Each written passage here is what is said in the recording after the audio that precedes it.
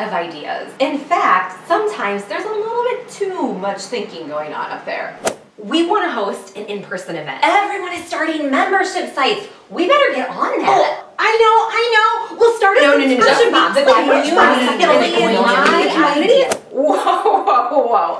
I don't know about you, but it can get a little crazy up there sometimes. It's the blessing and the curse of being an entrepreneur. Whether you choose to be a modern entrepreneur or it's just who you are, it's likely at some point that you are going to be faced with idea overload. It's a very real thing. It doesn't matter if you're just starting out or if you're years into your journey as an entrepreneur, it is bound to happen. Earlier this year, I had the opportunity to sit down with Tony Hsieh in an interview. Tony Hsieh is the CEO of Zappos.com. He's co-founder of Delivering Happiness and creator of the Downtown Project in Las Vegas, amongst other things. He's got more than a thing or two going on, and he's quite successful. With his team at Zappos.com, they built a multi-billion dollar empire. When I sat down with him in that interview, I was relieved disappointed and surprised to hear that even at that level, entrepreneurs have this blessing and this curse of having so many good ideas. Your challenge and your opportunity is to sort through them and get in action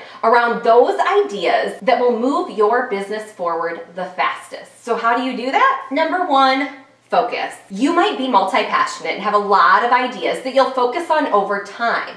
But to get some fast momentum, focus on one thing at a time. That doesn't mean that you'll never have more than one thing going on, far from it. That just means your focus can be on building one thing at a time or you'll be stretched too thin. And that is one skinny that isn't in. Once you get that one thing up and running, you can layer in the next big idea. Number two, alignment.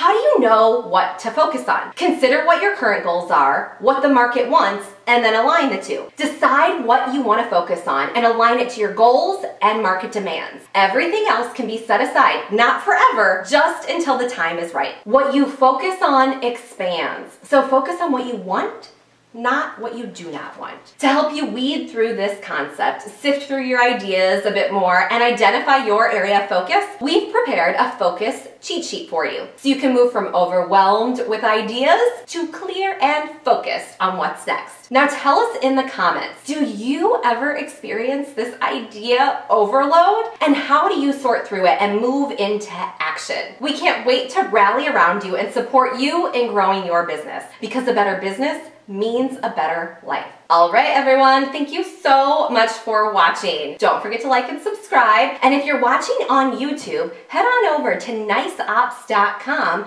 to get your focus cheat sheet. I'll see you in the next video.